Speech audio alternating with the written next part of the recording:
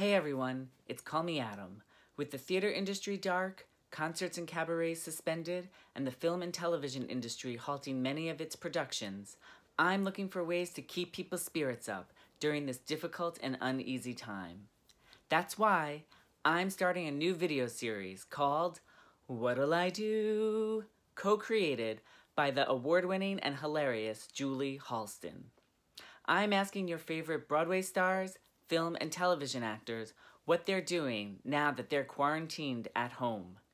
So curtain up, light the lights, camera, action, and here's what they're doing. Stay tuned.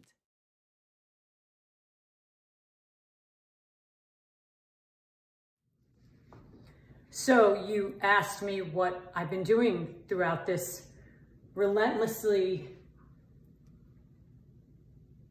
crazy time. Well, there are a list of things, but mostly I'm doing what I'm doing right now.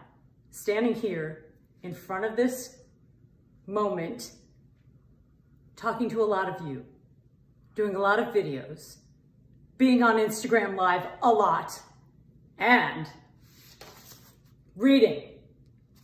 This is my second time reading Prince of the Beautiful Ones. If you're a Prince fan, I suggest you get it immediately.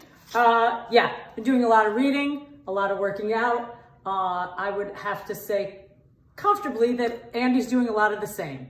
So uh, I hope that gives you a little insight into what's happening here. But yes, get this book, especially if you're a Prince fan and even if you're not. Woo!